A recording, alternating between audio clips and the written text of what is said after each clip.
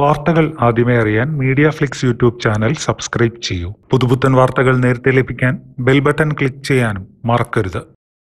കസ്റ്റഡിയിലുള്ള കിരണിനെ ഇന്നലെയാണ് പോരുവഴിയിലെ വീട്ടിലെത്തിച്ച് തെളിവെടുത്തത്. അതേസമയം ഡമ്മി പരിശോധനയിൽ പോലും ആത്മഹത്യയാണോ കൊലപാതകമാണോ എന്നുറപ്പിക്കാൻ പോലീസ് സംഘത്തിന് കഴിഞ്ഞിട്ടില്ല എന്നതാണ് വസ്തുത. കൂടുതൽ പഠിച്ച ശേഷം മാത്രമേ ഇതിനെപ്പറ്റി പ്രതികരിക്കാനാകൂ എന്ന നിലപാടിലാണ് ഇപ്പോൾ അന്വേഷണ ഉദ്യോഗസ്ഥർ.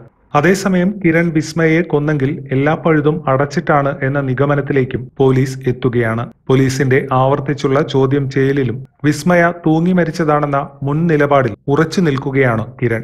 എന്നാൽ സ്ത്രീധനം കുറഞ്ഞു പോയതിന്റെയും കാറിന്റെയും പേരിൽ ഒട്ടേറെ തവണ വിസ്മയെ വിവിധ സ്ഥലങ്ങളിൽ വെച്ച് മർദ്ദിച്ചതായി ഇയാൾ പോലീസിനോട് സമ്മതിച്ചു. വിസ്മയ കിരൺ തന്നെ മർദ്ദിച്ച ചിത്രങ്ങൾ ബന്ധുക്കൾക്ക് അയച്ച സാഹചര്യത്തിലാണ് കിരൺ ഇതു സമ്മതിച്ചത്. മൂന്ന് മൊബൈൽ ഫോണുകൾ പലപ്പോഴായി എറിഞ്ഞുടച്ചിട്ടുണ്ടെന്നും സമ്മതിച്ചു.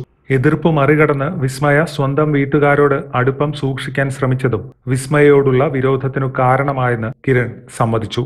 എന്നാൽ ചോദ്യം ചെയ്യലിന്റെ ഒരു ഘട്ടത്തിൽ പോലും ഭാര്യ മരിച്ചതിൽ ഒരു സങ്കടവും പ്രകടിപ്പിച്ചില്ല എന്നതാണ് പോലീസുകാരെ പോലും ഞെട്ടിച്ചത്. വിസ്മയ മരിച്ചതിലോ വിസ്മയയെ മർദ്ദിച്ചതിലോ ലെവലേശം കുറ്റബോധം കിരണിനില്ല. ഉറ്റവർ മരിച്ചു കഴിഞ്ഞാൽ തങ്ങൾ കാരണമെന്നറിഞ്ഞാൽ പ്രതികളിൽ പലരും പശ്ചാത്താപ വിവശരാകും. കിരണിന്റെ കാര്യത്തിൽ അതുണ്ടായില്ല. അതിനാൽ മനോബലം അല്പം കൂടുതലാണ് കിരണിനെന്ന് പോലീസ് മനസ്സിലാക്കുന്നു. ചോദ്യം ചെയ്യലിൽ നിർവികാരനായാണ് പ്രതികരിച്ചത്. അതിനാൽ തന്നെ സാധാരണ ചോദ്യം ചെയ്യലൊന്നും കിരണിന് ഏശില്ല.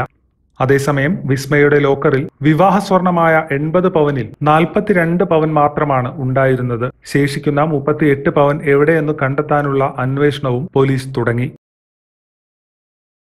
കൂടുതൽ വാർത്തകൾക്കായി Media Flix YouTube channel subscribe ചെയ്യൂ.